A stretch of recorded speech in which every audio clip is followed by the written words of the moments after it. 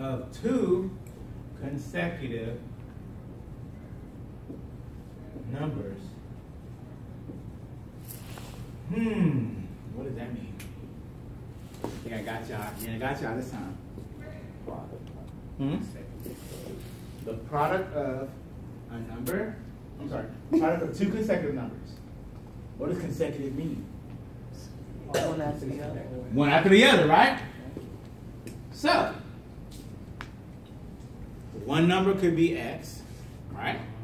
Consecutive means Y. one more, one more, Y. plus one, right? The next one, on to the next one, right?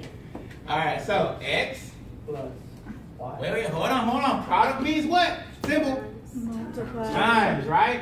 So, times x plus 1. Because x plus 1, this is the first number, this was the second consecutive. Be careful about that. We're going to go through a problem that involves that, and you're going to see why in a minute.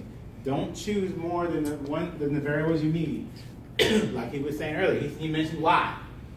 Don't do x and y plus 1, because you're going to be like, it's gonna take you forever and a day to finish that problem because you're gonna be wondering what y is. And while you're still figuring it out, I've been went home, packed my bags, I'm chilling at the crib. But you still thinking. Like I said, instead of saying you've been drinking, you've been drinking, you've been thinking. You've been thinking, right? And you still gonna be thinking, okay? Because you're not gonna, gonna be able to figure it out. Alright, so please be careful on choosing variables. Now, here's some still.